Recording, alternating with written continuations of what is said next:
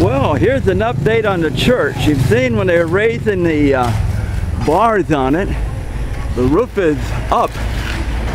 You saw where they put all these trusses up on top. Now they're working on the floor inside. You see part of the concrete is done. And they're mixing the concrete and spreading the floods. Everything is done by hand. There's no truck comes in and pours a big batch of concrete. It's done by hand and mixed up in.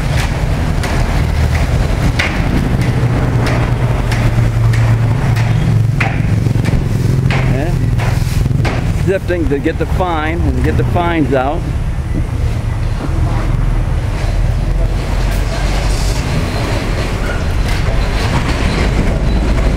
And if you notice, the mixing takes place right up here on the on the on the good concrete, on the dry concrete.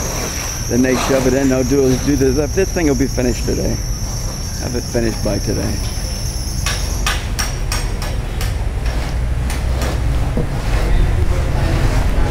here's a little bit of a church update.